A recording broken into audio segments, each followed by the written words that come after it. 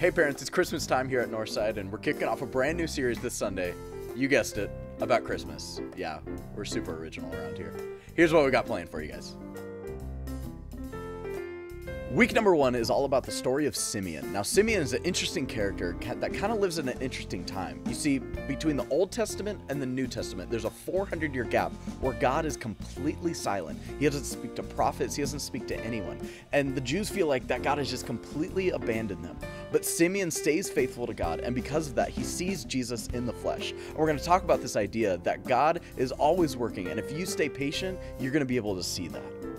Week number two is actually our final youth service of 2016, so we hope you guys can join us. And what we're going to be talking about is the history and background of Christmas. Now, if we don't know the history and the background of what Christmas is, we make a lot of assumptions about it.